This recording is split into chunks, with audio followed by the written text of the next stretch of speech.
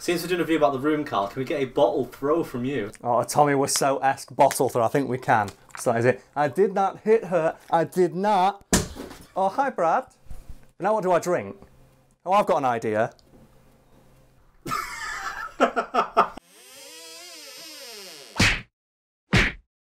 The Room is, depending on who you ask, a work of filmmaking genius or a cinematic turd that was rolled in glitter the moment it was released on DVD.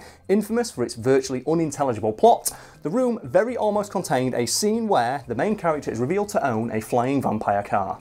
So there are probably going to be people watching this who haven't seen the room. And I feel sorry for those people. So if you haven't seen The Room and you don't know about, like, you know, known hero of this earth, Tommy Wiseau, who wrote, funded, directed, produced, and starred in the movie, The Room is theoretically about a love triangle between a large penised banker called Johnny, played by Tommy Wiseau, and his girlfriend Lisa. Oh no, so not a girlfriend, my future wife, Lisa, and his best friend Mark. Johnny's my best friend. I know. He's your best friend. Due to the frankly heroic amounts of ineptitude shown by Tommy Wiseau at virtually every stage of the production process, the film is unintentionally one of the most hilarious movies ever made.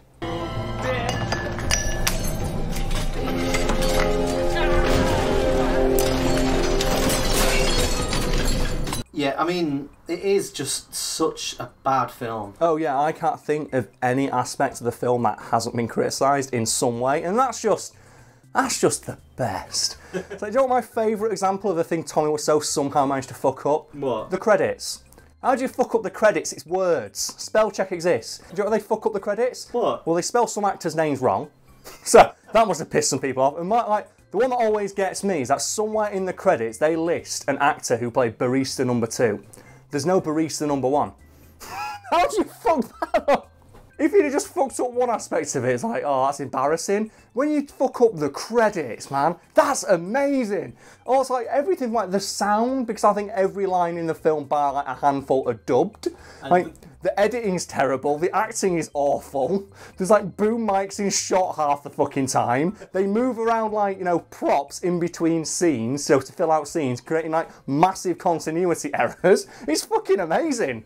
Isn't that what to do with the spoons that are everywhere? Yeah, the spoon. People don't know. There's this like there's this running gag in the film. It's like similar to like Rocky Horror Show, I guess, isn't it? Where audience participation is a big part of midnight screenings of the rooms. The room is now massive on the midnight circuit. In the film, for no reason, there are framed pictures of spoons all over Tommy's apartment. I didn't get much sleep last night. And whenever they appear on screen, what people do in the audience now midnight screens is throw plastic spoons at the screen. and I looked this up because I was curious, and according to like, the, um, the set dresser for the film, that's just like what appeared in the picture frame when they bought it from the shop to like you know dress the apartment. However, Tommy kept making them move the photos around for when he changed, like, you know, the angle of filming because he wanted there to always be something in the background. So they moved the same photo frame with the same spoon in it into the background of multiple shots. So it makes it look like Tommy Wiseau is just obsessed with this single picture of a spoon and bought like 40 pictures of it. We need more to dress the set. Dress photo from there. Okay, Tommy, same photo frame. Now Tommy looks like he's obsessed with fucking plastic spoons. Now he looks like a recovering heroin addict or some shit like that. But because obviously Tommy was so, like, you know, the auteur that he is, they had to listen to him. Because this is true. Like, did you know this? Tommy Wiseau fired the entire cast and crew of that movie anywhere between one and three times, depending on which interview you read with Tommy Wiseau because he's changed his mind on how many times he fired the entire staff. And this is another one that always gets me. Do you know how much the room cost? Like the budget for the film? Ah, it's, it's five or six million. Six like million dollars. And I think the quote from James Franco is it cost six million, it looks like it cost six dollars. And a lot of people assume, oh man, this film, it had to be like some sort of front or a money laundering scheme. It's like, no, it really did cost that much money to make because Tommy Wiseau was that fucking inept. For example, do you know one of the biggest costs to the entire film? What? The fact that Tommy Wiseau filmed every single scene twice. How do you film every scene twice? What Tommy Wiseau did is he bought two cameras, one digital HD camera and a 35mm camera. Digital and film? But you'd need uh, twice the crew, uh, twice the equipment. I mean, Hell, both they're lit differently. What's the point? Well, Tommy Wiseau has since claimed that he did this so that he'd be the first director in history to film on two formats simultaneously. In reality, according to people who worked on the film, like Greg Sestero, obviously the disaster artist, he says that Tommy bought a book called How to Make a Film, and in this book it says, oh, if, you, if you're filming a movie, you may want to film it on either film or more modern directors might opt to use digital formats. And Tommy didn't understand that, so he just bought both. and then stuck them together. And you can find a picture of his custom mounted rig, and it's real. And then all he, he only edited though the film footage. So there's still a shit ton of like HD quality footage from a slightly different angle out there somewhere that's never been touched.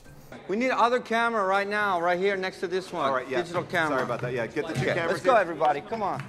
In addition to just general production and editing foibles, the film is infamous for its abrupt and seemingly inexplicable tonal shifts. For example, consider perhaps my favourite scene in the movie, where a woman announces that she has breast cancer, which is then promptly never addressed again. I got the results of the test back. I definitely have breast cancer. Look, don't worry about it. Everything will be fine. Is that scene the most epic sandbagging of cancer ever seen in fiction? I think it might it might be. just be, might it? And like this film, people haven't watched it, and I recommend that you go watch it right now, at least the highlights. Like that is like just par for the course in this movie. Like obviously one of the most famous clips is the one I tried to like, you know mock at the start of this um, video, where it's like I did not hit her, I did not hit her, I did not. That's Tommy Wiseau, like you know trying to like you know pour his heart out. That's his Oscar nomination scene, and he, without warning, inexplicably turns to his friend and goes, "Oh hi, Mark." I did not hit her. It's not true. It's bullshit. I did not hit her. I did not. Oh, hi, Mark. Isn't that the same scene as well, where like Greg Sestero, in another Oscar-worthy scene, tells the story of a girl he knew who got brutally beaten up in an alleyway or mugged or something? Something like that, yeah. And Tommy Wiseau looks and goes, "Ha ha ha! What a story!" One of them found out about it, beat her up so bad she ended up in a hospital on Guerrero Street. What a story, Mark. And the thing is, though, like, you'd expect it coming from Tommy, 'cause English is not his first language. Mm. But the other actors, what excuse did they have? Other than that Tommy's direction made them terrible. Just being caught in his badness aura made them unable to act. I know a lot of people like the film, but I don't really like the film as much as I love the idea of Tommy Wiseau as a person, because he's just like an enigma wrapped in a mystery covered in a pair of sunglasses, and I fucking love the idea of just this human being who people cannot understand. So, do you know how old Tommy Wiseau is? How old are you? Wow, the personal. You can't ask my people that question that- Don't want Greg age. You're 19? Yeah. No, no one knows how old Tommy Wiseau is. If you look it up on Wikipedia. His age is listed as unknown. Because Tommy Wiseau, like when he's asked in interviews anything about his like you know his past or his personal life or any biographical information whatsoever, he gives contradictory garden path answers that don't really answer the question. So nobody knows how old he is. No one knows what his real name is, and no one knows where the fuck he's from. Where are you from? It's a simple question. I'm from New Orleans. From the bayou. You guys hear that? This guy with this fucking accent is from the bayou. He is a movie director who is world famous at this point, and no one knows like the most basic biographical information about him. And I love that. I find that more fascinating than the film itself. It's great. Also, as well, no one knows where he got the money from. Know like said this film cost six million dollars? No one knows where Tommy got the money because he funded the entire film out of pocket. So this man, who no one knows anything about, and all we know is that he wears dark sunglasses and has a vaguely Eastern European accent, somehow had near unlimited cash reserves to make this vanity project. Uh, are there no theories at all? Well, there are a couple of theories, and one, none or all of them may be true. One of them is that Tommy was hit by a big dick movie producer back in the day, and he received a large out of court settlement for, you know, not suing the shit out of him. And they theorise like that's how he got, like, got fell in love with the movie industry. Another one is that he's got ties to organised crime, which you know would explain, you know, like his um, his vagueness in his backstory and his like, like his staunch refusal to ever reveal more about his past. And another one, which comes from Tommy himself, is that he used to sell jeans and leather jackets that were imported from Korea, where apparently leather jackets are really cheap. So all or none of them may be true, but like apparently like Tommy had an almost unlimited amount of cash at all times. Like he like he was always wearing fancy suits, which you can't really tell because his suits don't fit. Um, but he, like, his sunglasses apparently worth like five hundred dollars. He drove everywhere in a fucking like Mercedes Benz. Um, he'd like, um, and they said when they went out for dinner, he'd always have like three thousand dollars in cash on him at all times. Just at all times, and they can never figure out where he got the money from because no one ever saw him go to the bank. There's actually money in there? This account? It's like a bottomless pit. Really? Yeah. Tommy. Yeah. That's more interesting than the film itself, and the making of the film is fascinating because the idea that this like hilariously awful film somehow got made. Now, ordinarily, a film this bad with this many plot holes, inexplicable tonal shifts, and editing problems were relegated to the collective bargain bin of the public consciousness. However, the film is so bad on every conceivable level that it's somehow ascended to the level of being so bad that it's good. As a result, the film is now considered to be an unintentional masterwork of comedic genius. In short, the film failed so hard and so completely that you kind of have to respect it.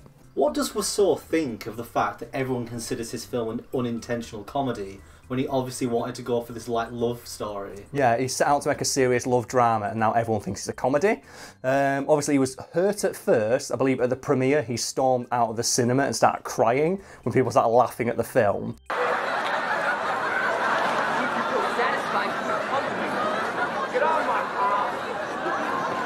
But in more recent years, he backpedaled and claimed that he always intended to make a comedy all along, and he's re envisioned the film as a black comedy instead of a serious love drama. Something that has been countered by like everyone who worked on the movie. Said no, he was just so inept he somehow stumbled ass backwards into cinematic genius.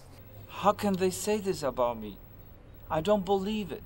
What proof do we actually have that he didn't intend to make a comedy? Mostly it's Greg Sestero and the Disaster Artist book and all the interviews contained therein, which shows that Wiseau was dead set on making like a serious love drama and that he just didn't know what the fuck he was doing, as evidenced by the fact so many ridiculous scenes and suggestions had to be cut, including the topic of today's article, a flying vampire car.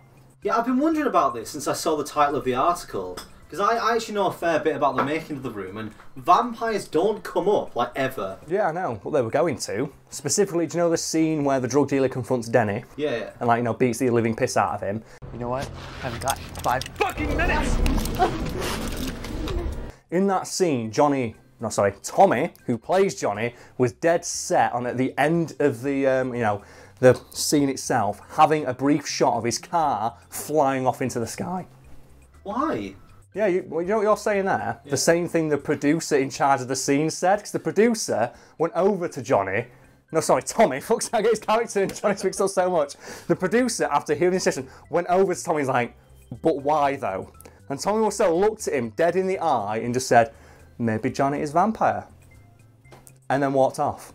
So I don't know much about vampires, like you know, the lore behind vampires, but the last time I checked, does Dracula own a flying Mercedes Benz? I don't think he needs Is that, to. is that ever been like part of vampire canon ever? Did vampires also discover flubber?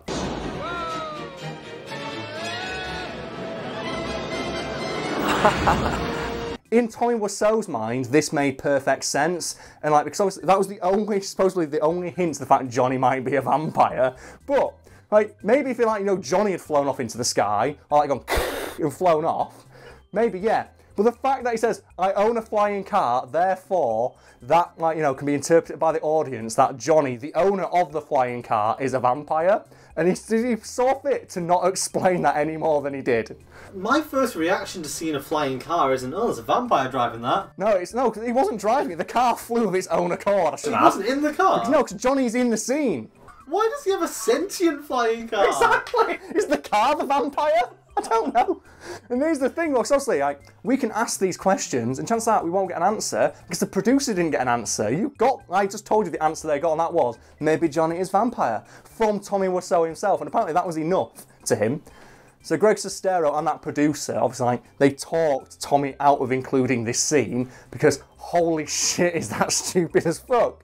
But apparently Tommy was really upset about that. So what he did is he made another suggestion for that scene. And do you know what that suggestion was? What? Giving the guy playing the drug dealer a real working gun and having him fire it wildly into the air to scare the shit out of the actor playing Denny firing a real loaded gun, firing a real gun into it. And apparently the crew told, like, you know, Wiseau, you can't do this. And Wiseau's response was, I can do what I want. I'm the director. I can do what I want. Would you tell Hitchcock he can't have a real gun? And someone just said to him, Tommy, you're not Hitchcock.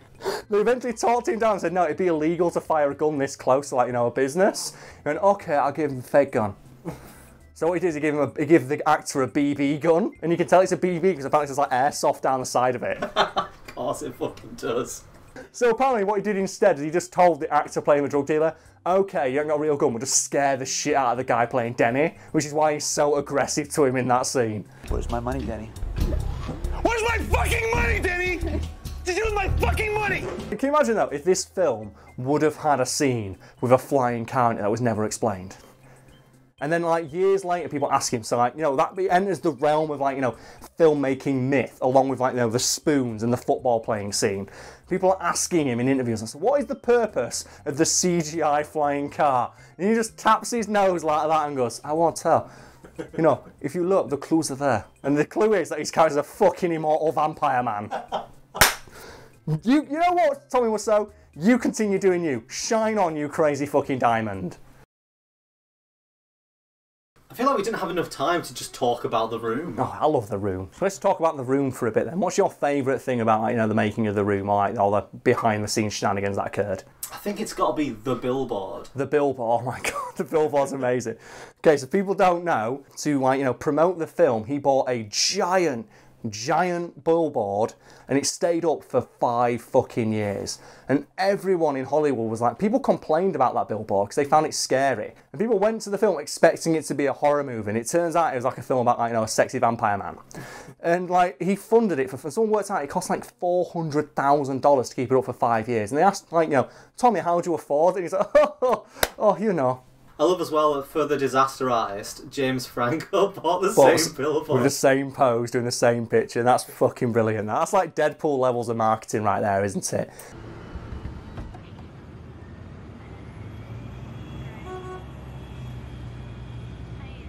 What about you? What's your favourite thing? Oh, I'm not really sure. It's the um, the football tuxedo bit.